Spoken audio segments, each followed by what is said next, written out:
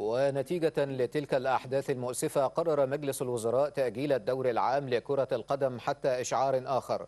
وأعرب المجلس عن عميق الحزن والأسف معزيا أهالي الضحايا داعيا أن يتغمدهم الله بواسع رحمته وأن يلهم ذويهم الصبر والسلوان.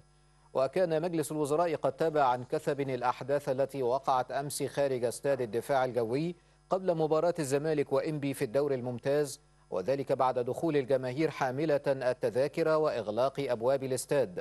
وصرح المتحدث باسم المجلس في بيان بأن حشودا تجمعت بعد ذلك بهدف الدخول عنوة ومحاولة اقتحام الاستاد والاشتباك مع قوات الأمن. ورفضوا الخضوع لإجراءات التفتيش المتبعة لتأمين المباراة والمشجعين.